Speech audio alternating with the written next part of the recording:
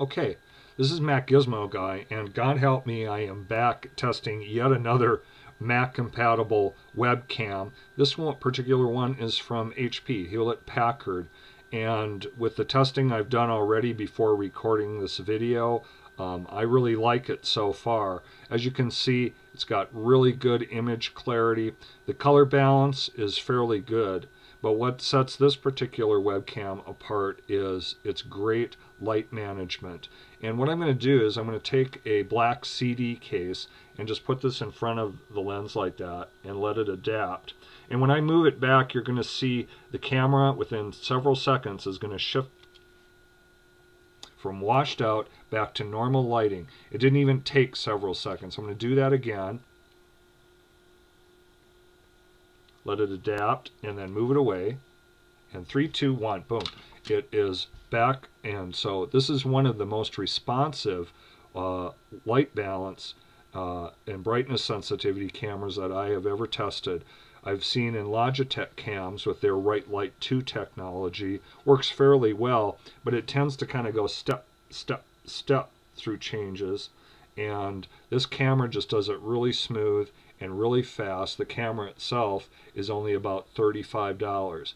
I did have uh, a few problems, and you often have to go into your micro system preferences, microphone settings in order to adjust the USB microphones that are built into most webcams and that I was getting some little tick tick click sounds um, trying to record through QuickTime so I'm trying a different application this time around but so far my impression for this camera for about $35 it's one of the best that I've seen and I love its ability to adapt to light. If you're like me and you like talking with your hands, um, what you'll find is the camera sometimes sees that, dims down, brightens up, you know, and things like that. So that's very normal for a camera. At least this one responds very rapidly. So for a fixed focus, low cost, UVC compliant webcam, so far so good. Okay, I'm now recording this with a comparably priced about a $30 $35 Logitech cam I used yesterday. As we see this one the color saturation is a little brighter and richer at its default settings and um, its built-in microphone is fairly good as well. But so if this square rectangular thing fixed focused with a plastic uh, lens cover, it does have a little blue LED to indicate when the camera is on and recording and a microphone.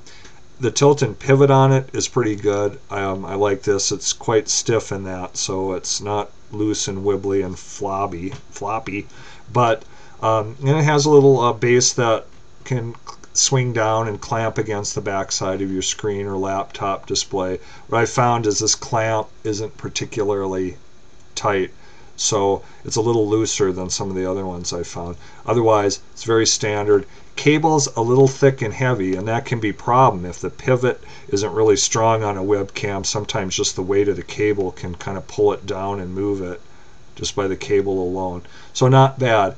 On the top of the cam, we see a couple of buttons for snapshot and recording and stopping recording, but those are usually only enabled under Windows with this particular Windows software driver that would come with a cam like this. This isn't marketed or billed as a Mac compatible webcam, but because it is UVC compliant and complies, the sensor in it complies to that standard, it is pretty much just plug and play on the Mac. So pretty decent webcam for 35 bucks. This is the best one I've tested yet and um, I'm impressed in terms of image quality, image clarity, light responsiveness, um, quite good, quite good, and a little bit better than Logitech. We could, before I sign off here, one, visit my website, maccompatiblewebcam.com for this cam and others that you may want for your Mac computer that doesn't have a built-in iSight,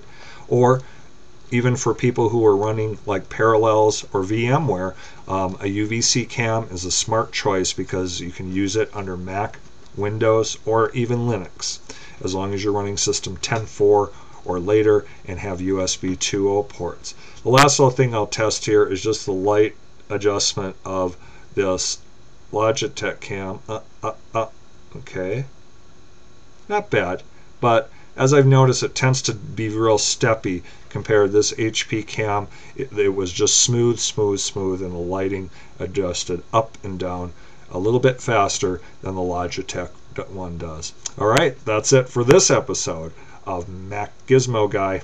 Bye.